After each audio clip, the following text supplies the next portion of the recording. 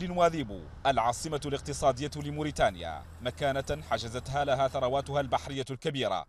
فاستنادا لآخر الإحصاءات الرسمية فإن حجم المخزون القابل للاستغلال من أنواع الأسماك يقارب الثلاثة آلاف طن سنويا. أرقام وإحصاءات لا تنال كبير ثقة لدى الصيادين التقليديين الحالمين بتجارة تؤمن لهم الأرباح أو قوت يوم على الأقل. كهند ربة المنزل التي تبحث كل يوم عن قوت يومها بعد أن تحولت أحلامها للتجارة بالسمك إلى سراب. الحوت اللي يجيبوه تجي مدخره وتشري فوق راسنا إحنا ما علمنا كاع به. ونجيو باطن يلحقوه مطروح ينشرى فوق راسنا. ما راو منه حوتة واحدة ذاك ما هو الصالح وهذا البواخر نحن ما عندنا التموين نشرو به باخرة. ولا عندنا التموين نشرو به في الوقت. عندنا لكن لا تشري 20 كيلو الله 30 كيلو تمشي تبيعها واللي هو مضايقين فيه الفقان المضايقة السيريين قالوا الاجنبي مباشرة. إذا عاد عندهم ممولين من نحن معتكفين عليه هو من نفسه. نحن لا أساس لنا. الثروات السمكية الموريتانية تخضع لنظام سوق صارم. العرض والطلب فيه يحددان داخليا وخارجيا. فبينما يتزايد الطلب داخليا على الأسماك إلا أنها غير متوفرة. كما بالأسواق الأوروبية والآسيوية.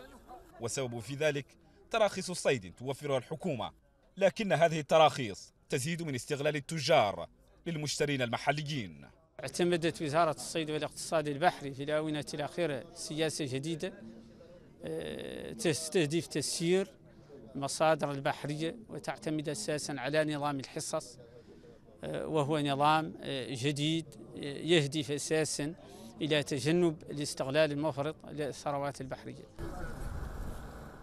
رغم ما تقوله السلطات عن توفير الظروف الملائمة للصيادين لممارسة مهنتهم تتجدد مطالب الصيادين بحمايتهم من تمدد مساحات الصيد الصناعي الوافد من خارج القارة.